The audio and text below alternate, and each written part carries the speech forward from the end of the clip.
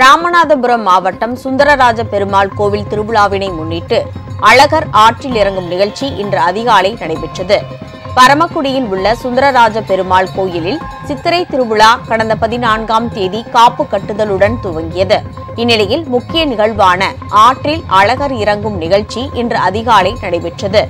இதையொட்டி சுந்தரராஜ பெருமாள் கள்ளழகர் வேடம் பூண்டு அரக்கு வண்ணத்தில் பட்டு உடுத்தி அலங்கரிக்கப்பட்ட பூப்பள்ளக்கில் புறப்பட்டார்.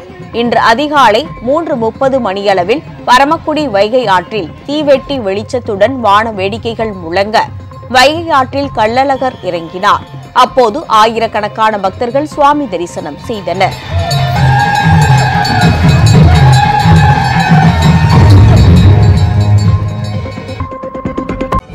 ராஜ் நியூஸ் தொலைக்காட்சியில் திங்கள் முதல் வெள்ளி வரை தினம்தோறும் பிற்பகல் இரண்டு மணிக்கு உங்கள் பகுதியில் உள்ள குறைகளை நேரலையில் தெரிவிக்கும் புகார் பெட்டி நிகழ்ச்சி.